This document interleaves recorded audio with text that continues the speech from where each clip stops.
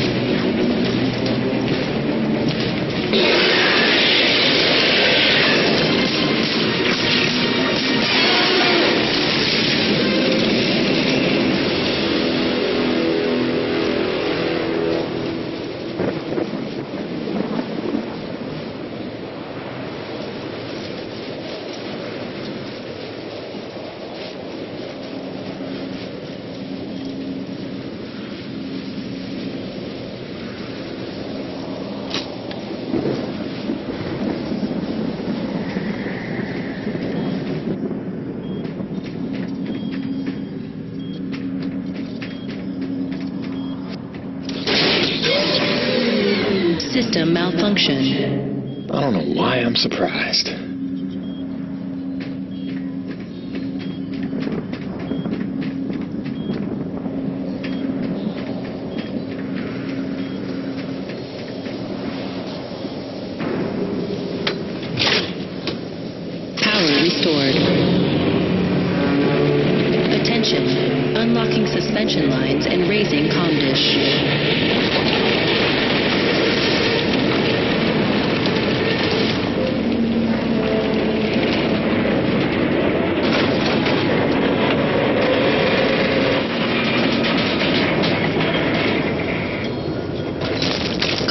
Locked and ready for transmission.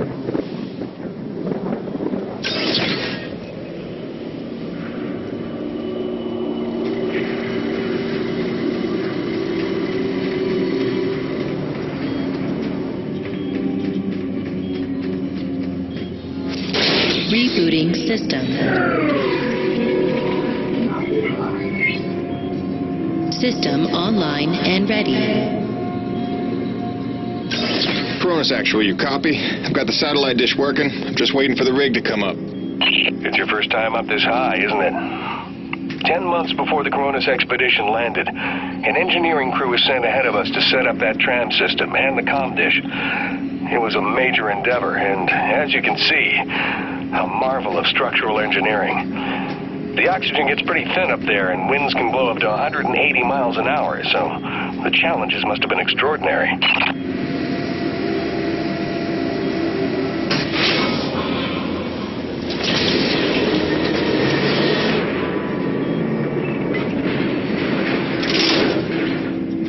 Attention. Heavy cargo tram is docked and ready.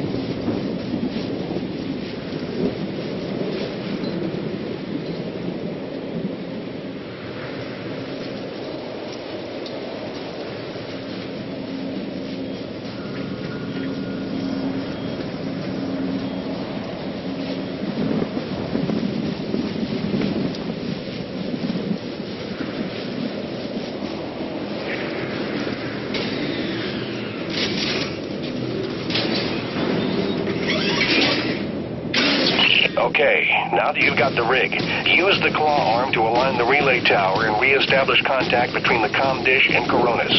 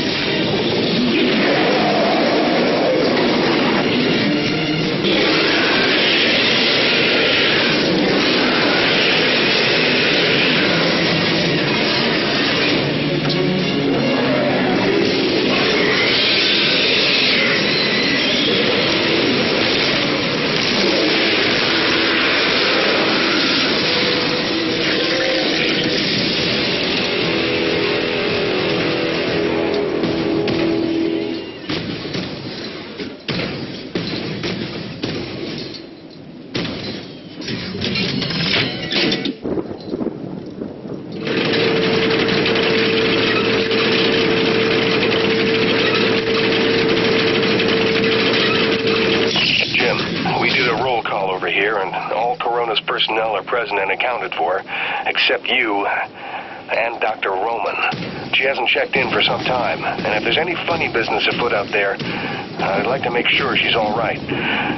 Do me a favor and check in on her before you head back. Roger that, boss. Peyton out.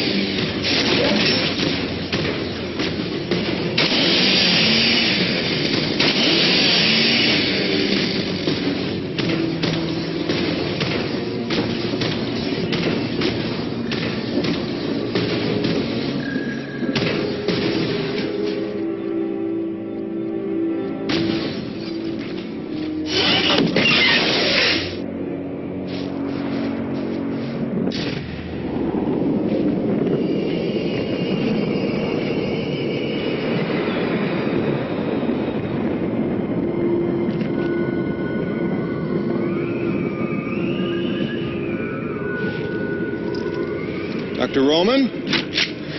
Drop your weapon. Whoa, whoa. Easy now, Doc. Who are you? Where'd you come from? I'm Jim Peyton. Just here to check Where up. from? From Coronis. What the hell, lady? Where else would I be from? Braddock sent me. I know you. That's right. I came down with that creepy fella you don't like, with the big. If you're really here to help, there is one thing you can do. DNA tagger for your pistol. Collects, analyzes, and stores genetic patterns for my research. Want to help? There's an Akrid nest just round the bend. Tag the egg clusters for me. Sounds easy enough. Take this. It's a motorized zipline attachment for your grappling hook. You'll need it to get where the eggs are.